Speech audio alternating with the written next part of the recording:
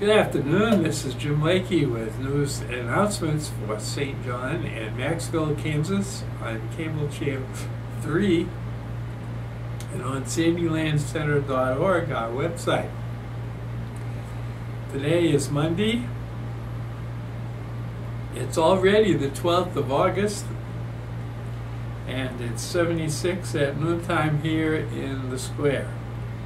Uh, we're looking for isolated thunderstorms uh, later today, and the high temperature will be 85.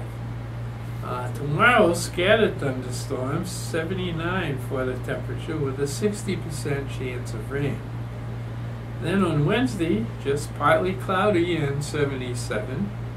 And on Thursday, partly cloudy and 76. Then Friday, scattered thunderstorms, 75 the high temperature with a 30% chance of rain. And on Saturday, isolated thunderstorms, 78 with a 30% chance of rain. So Friday and Saturday are very much alike. Well, happy uh, anniversary today to Joe and Christy Snyder. And tomorrow, happy birthday to Deborah Pound. Well, there are a few things uh, in the news. One is that the city water plant finally got done after many years of working on it. And the water is now okay to drink.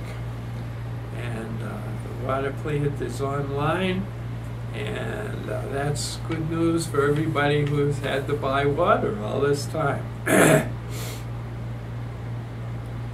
on uh, Saturday, the 17th, at 3 o'clock in the afternoon, uh, there's something similar to a rally in the valley, except it's here in the square.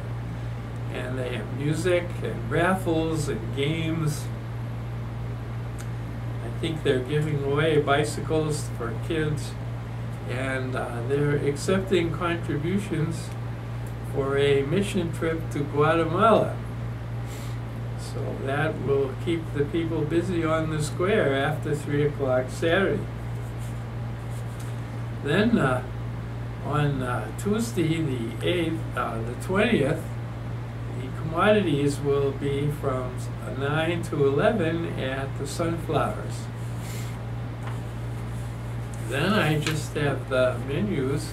uh, at the Sunflower Center today, they have braised beef cubes and steamed rice. Uh, tomorrow they have roast pork with breaded dressing and gravy. And on Wednesday, Hawaiian chicken with rice and carrots. Now we get to the Macksville VIP Center. And today they have chicken enchilada uh, tomorrow, roast beef with gravy and mashed potatoes.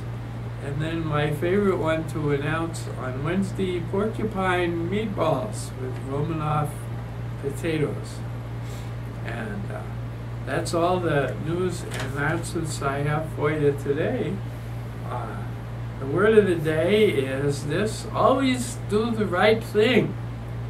This will gratify some people, but astonish most of them. This is Jim Lakey saying have a great Wendy.